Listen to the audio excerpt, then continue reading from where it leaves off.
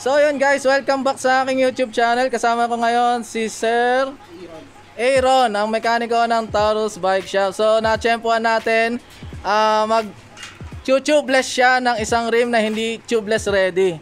Siyempre, kailangan natin yung kung ano yung mga materyales. Sasabihin natin yan. So unang-una, kailangan natin ng ayan, duct tape. Ayan o. So palagay ko nasa 100 pesos lang yan duct tape na yan, more or less. Tapos, sealant. Ayan, yung ginagamit sa motor. Siyempre, yung kanyang pito. At yung gulong na tubeless ready. Yan. So tara, silipin natin.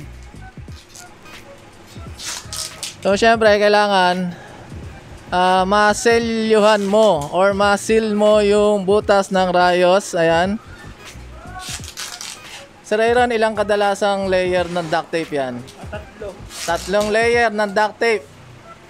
Para siguradong walang ah, tagas ang hangin. Pero guys, naisip ko yung flexi tape. Pero palagi ko hindi pa pwede. Kasi nilalapat eh. O, Tingnan nyo. Ayan o. Nilalapat niya. Ayan. So sa mga gustong mag-tubeless dyan ng ang kanilang rim ay hindi tubeless ready. Ito, pwede nyo subukan to. Pero hindi naman yan gagawin dito kung hindi nyo tested yan eh. Di ba Sir Aaron? Yes. Ayan. Siyempre, tested niya yan. Hindi niya i-recommenda yan kung hindi niya natetesting yan. Ayan. So, nasilyan na ang rim gamit ang duct tape. Pipress niya lang yan para siguradong lapat na lapat yung dikit. Siyempre, pagkatapos niyan, palagay ko, ilalagay na ang pito. Pero bago mo ilagay ang pito, kailangan butasin mo muna. Ayan o. Oh. O, di ba?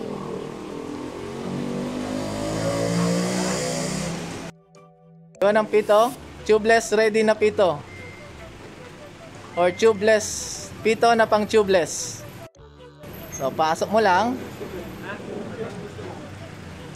Ayan, masikip pa. Bagong bago eh, masikip. Ayan o. Oh. Di ba? Lang. Then, lalagay mo yung tornilyo nung pito. At sisikipan. Tapos, ang gamit natin na gulo ngayon ay ang Maxis. Maxis ano yan? Maxis RD Trace na tubeless ready. So, ganun lang kadali guys, oh. Oh, di ba? Ayan, kagandahan kay Sir Aaron. Kita mo, oh. Sinare niya yung kanyang karunungan, di ba? Sipin niyo, kinakamay lang guys, oh. Lakas ng pulso, ah. Tapos, pag nailagay mo na yung gulong, lagay mo ngayon yung sealant doon sa kabilang labi. Huwag mo muna isasara. Huwag mong isasara. Yan. So, pasok mo lang yung sealant. So, huwag mo mauubusin yung buong laman ng sealant kasi dalawang gulong ilalagay mo dyan. Pag inubos mo yan, eh, wala ka na dun sa kabila. O, kalakalahati lang. Ayan o, kita mo? Kalahati lang. Magtira kayo dun sa isang ah, gulong. Pero kung gusto nyo ubusin yan, nasa sa inyo yan. Bili na lang kayo ng isa pa. Tapos, ikakalat nyo. Pero kakalat din naman yan pag inikot yung gulong eh. Okay na yun, kinakamay lang. Hindi mapapanis yan kahit kamayin. Hmm, shoot. Nadinig nyo. Tapos hahanginan na.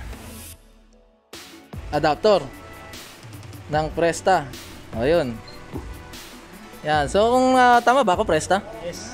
So kung naka-Presta kayo, kailangan nyo ng adapter na pang shredder. Tama ba ako doon? Yan, yan, yan. Ayun. Yan. Pero kung meron kayong bike pump na baliktaran, yun, pwede nyo gamitin yun. So, bomba lang ng bomba. Bomba ng bomba. Ayan. Hanggang sa tumigas. Titigas yan kada bomba mo. Ayan.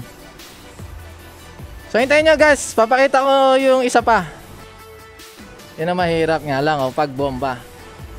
Pero kung meron kayong compress air or compressor, yan, saglit lang yan. So, habang binabomba niya guys, oh. Yan. So, Nire-ready lang yung X Battalion Bike XB. Yun ang mahirap. Ay, sa compressor kasi, ano yun, no? Biglaan eh. Talagang puputok yung goma eh.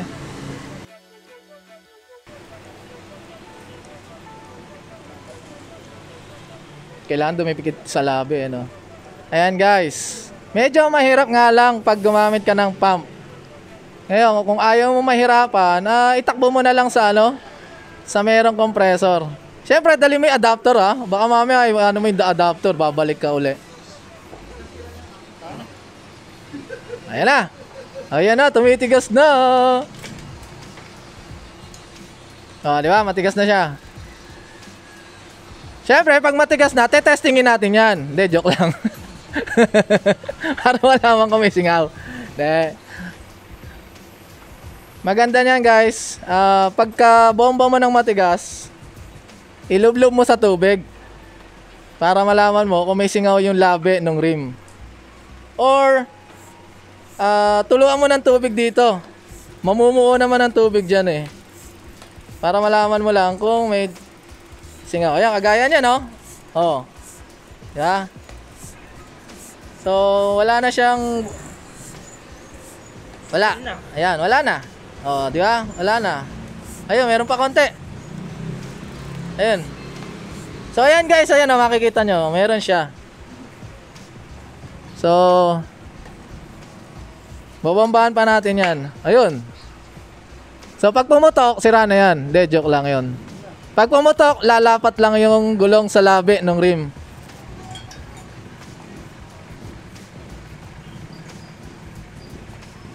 Yan, matagal nga lang pag bomba. Ayan o, kita nyo, pumuputok na. So, ibig sabihin na lumapat yon. Ah, di ba? Ang Dali mag-tube, mag-tubeless ng gulong. Siyempre, isa pa lang yan. Doon tayo sa isa pa. Papakita natin din, isa pa.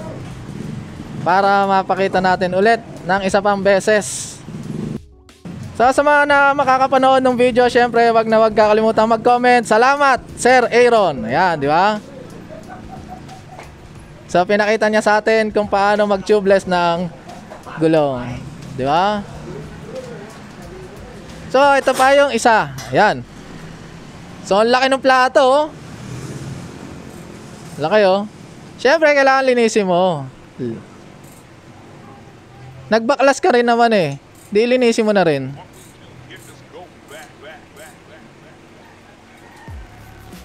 Pag malinis na, kunin ang duct tape. So ayan, map- makikita nyo guys, pinutol niya yung duct tape. Ayan.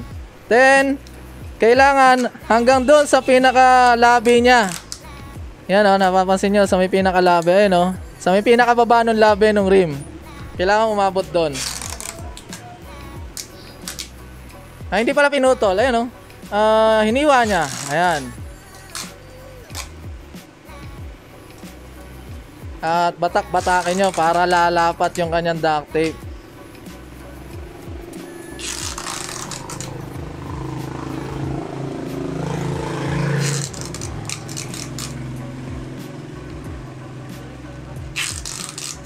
So nakaisa na tayo, isang layer. Tatlong layer daw ang gagawin dyan.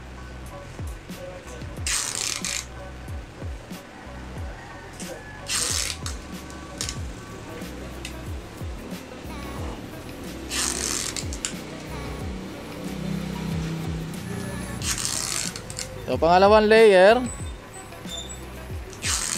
So isa pa.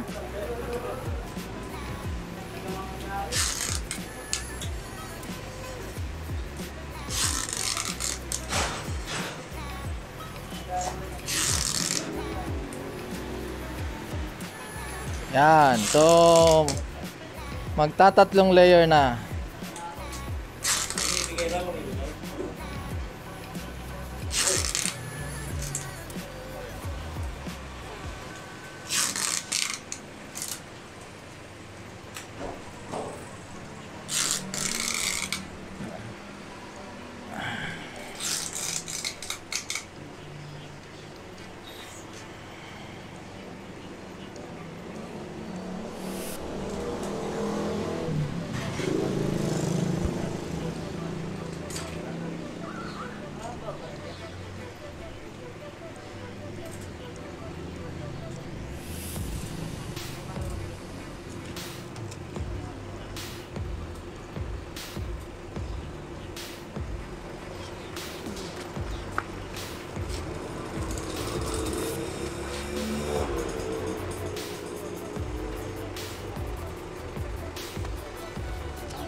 Pagkatapos mo lagyan ng tatlong layer ng duct tape, syempre bubutasin mo para sa kanyang pito. Ayan, kung makikita nyo, binutas niya para dun sa pito.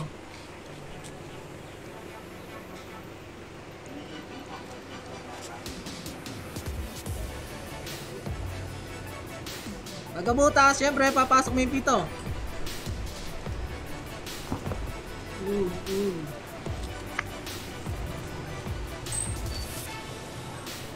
Yun yung ah, lock, lock ng pito. Ayan. Pipihitin nyo lang o sikipan nyo lang ng kamay. Yan. So kung bibilangin natin ng step, palagay ko 1, 2, 3, 4, 5 steps. 5 steps ang pag-tubeless. 1, first step, lagyan ng duct tape Second step, bubutasin ng duct tape para mailagay ang pito. Third step, ilalagay yung kanyang gulong na tubeless ready. Ayan, nakita nyo naman. Third step na tayo. Yung fourth step, ilalagay itong sealant. At yung fifth step, bobombahan ng hangin.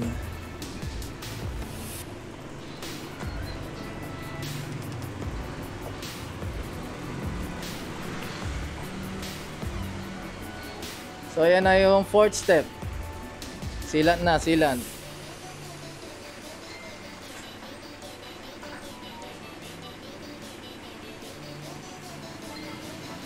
So kung magtatanong kayo kung pwede walang sealant, Sir Aaron, pwede ba walang sealant?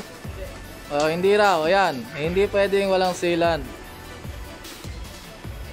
Siyempre, nagbaklas ka na rin naman, lagyan mo na.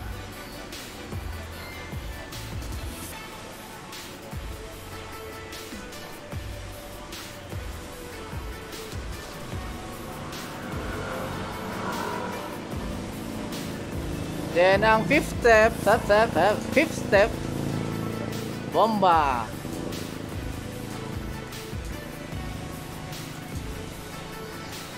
Eh, Sir Aaron, habang sinasarado mo yan, shoutout ka naman dyan, oh. Enduro. Enduro Line Racing Team. Oh, shoutout daw, Enduro Line Racing Team. Ayun, oh, yung t-shirt niya, oh. Enduro pala yun, oh. Enduro Alliance.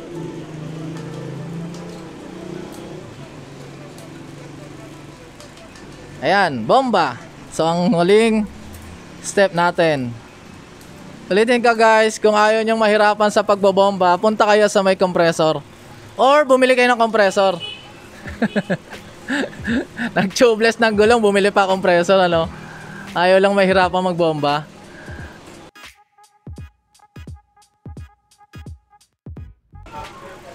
Kadalasan sa mga tubeless, folding eh no?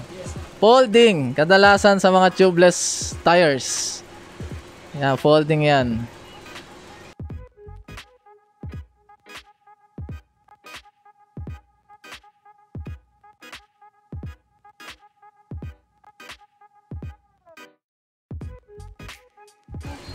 Huwag kayo matakot guys natigasan yung gulong.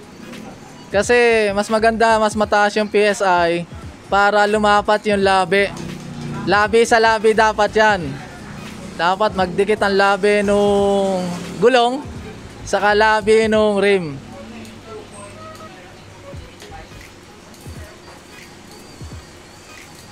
So ayan na, medyo sumisingaw na siya. Ibig sabihin nun, lumalapat na yung labi ng gulong sa rim.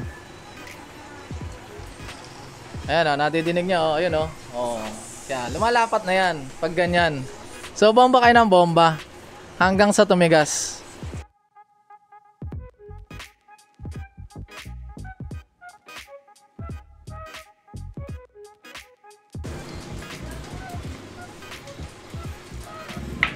Yon, pumutok na. Malapit na. Pag pumutok lang, okay lang. Pero pag sumabog, iba na yun. O yun o, pangalawa. Dalawa na yon. So, yun. Kagaya nung unang rim, nakadinig ako ng dalawang pumutok. So, palagay ko dalawa din yan.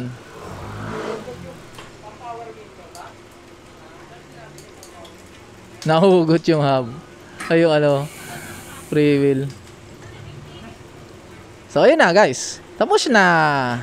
Napakadali mag-tubeless ng hindi tubeless na rim.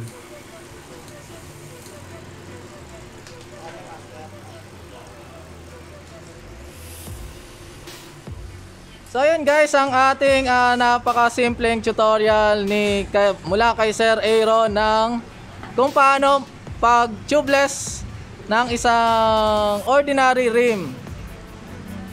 Siyempre, kailangan mo ng tubeless na gulong at yung mga nabanggit ko na materyales para sa pag-tubeless. So kung nagustuhan mo yung video, huwag kalimutan pindutin ng like at siyempre mag-comment kayo ng salamat Sir Aaron. Ayan, siya nag-share nung ah, karunungan na yun. At syempre, huwag kalimutan pindutin ng subscribe button para ma-notify kayo if ever man na mag-upload tayo ng panibagong tutorial or bike check videos. Ah, siya nga pala guys, kung may nagtatanong kung nasan kami, nandito kami ngayon sa Taurus Bike Shop. Ayan o. Yan. At huwag kalimutan pindutin ang subscribe button. So hanggang dyan na lang. Maraming salamat sa panonood. Bye-bye. Babush. Paalam. Bon voyage. Etc.